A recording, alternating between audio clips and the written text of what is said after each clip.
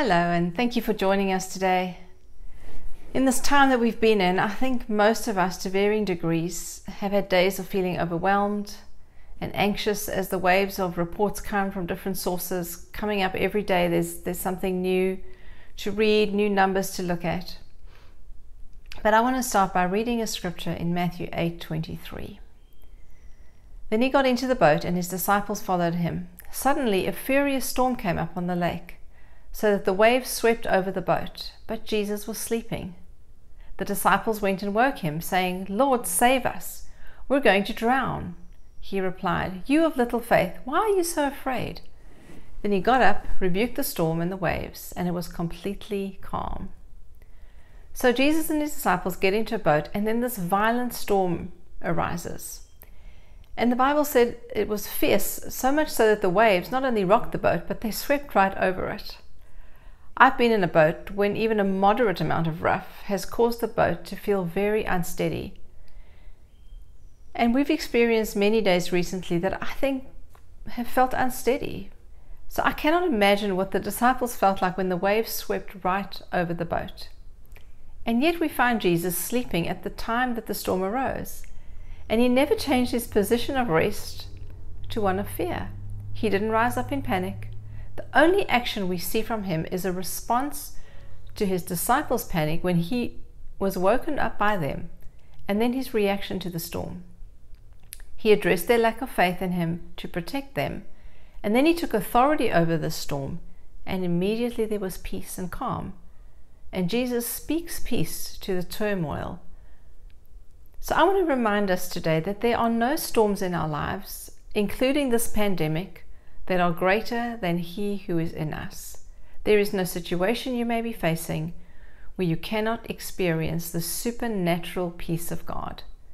Jesus wasn't in denial or even unaware of the storm. And as believers, I think we should be informed.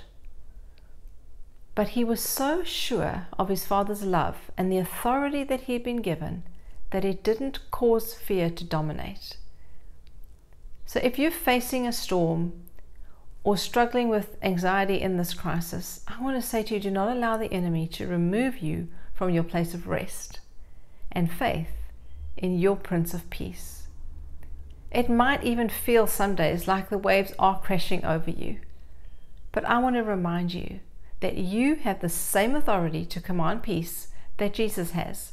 And no matter what storms you may be facing, the peace of heaven remains your portion.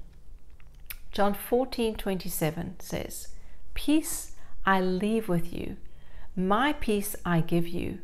I do not give to you as the world gives. Do not let your hearts be troubled, and do not be afraid.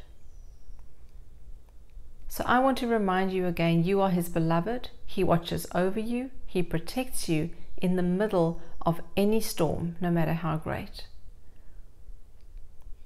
In closing, if you're struggling with a lack of peace or anxiety, I would like to pray for you right now.